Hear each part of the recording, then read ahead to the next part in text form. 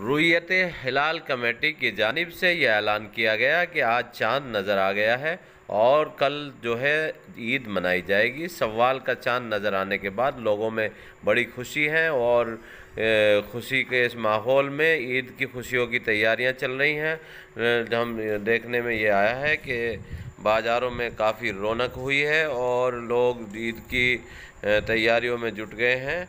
और कल इन ईद मनाई जाएगी। सवाल के चाँद की खुशी की, के साथ ही पूरे मुल्क के अंदर ईद का ऐलान कर दिया गया है।